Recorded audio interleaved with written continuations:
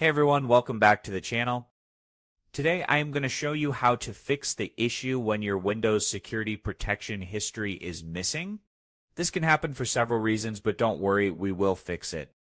First, let's check if the protection history feature is actually enabled in Windows Security. Open your Start menu, type in Windows Security, and hit Enter.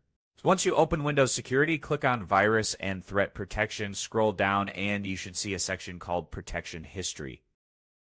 If it's missing or not showing any history, don't worry, we have some fixes to try. One of the first things to do is make sure your Windows Defender is up to date. So go ahead and click on Check for Updates under the Virus and Threat Protection Updates section. If there are any updates available, install them and restart your computer. Once it restarts, check the protection history again. Sometimes outdated protection files can cause issues with viewing past protection history. If that doesn't fix the issue, now let's move to the next step.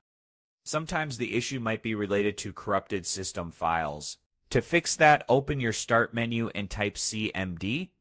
Right-click on Command Prompt and select Run as Administrator. In the Command Prompt window, type sfc slash scannow and hit Enter.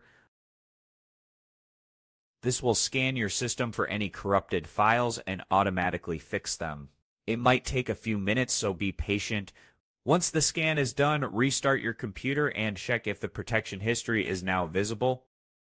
This step can fix many underlying issues with Windows security. Hopefully one of these fixes worked for you. If you liked the video, please give it a thumbs up and subscribe for more tech tutorials like this one. Thanks for watching, and I will see you in the next one.